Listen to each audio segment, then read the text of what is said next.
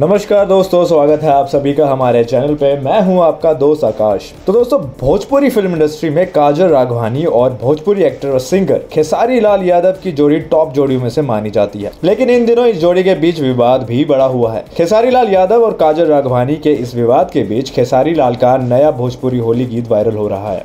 इस गाने के बोल है, बदल गई है काजल। बदल गई काजल गाने को रिलीज़ के 10 दिनों के भीतर ही करीब दो करोड़ से अधिक व्यूज़ मिल चुके हैं। इस गाने में खेसारी लाल और अनिशा पांडे की जोड़ी बेहद शानदार लग रही है। सोशल मीडिया पर इस गाने का वीडियो तेज़ी से अब वायरल भी हो रहा है।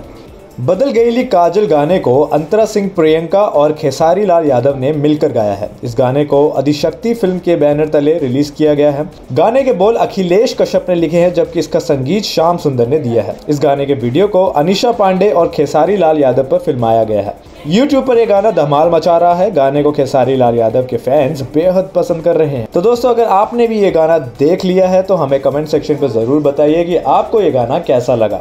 इसके अलावा आज की मेरी ये वीडियो पसंद आई हो तो इसे लाइक भी ज़रूर कर दीजिएगा। मैं आपके लिए ऐसे ही बेहतरीन भोजपुरी से जुड़ी तमाम खबरें लाता रहूँगा। नमस्कार।